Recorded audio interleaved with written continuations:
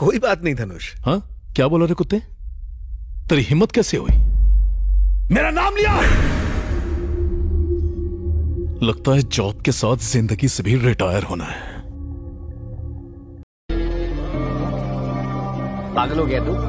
अपनों से ऐसे बात करता अरे है। क्या अपने वो लोग? जो हम लोग के साथ खड़ा है वो अपने। जो चला गया वो चला गया।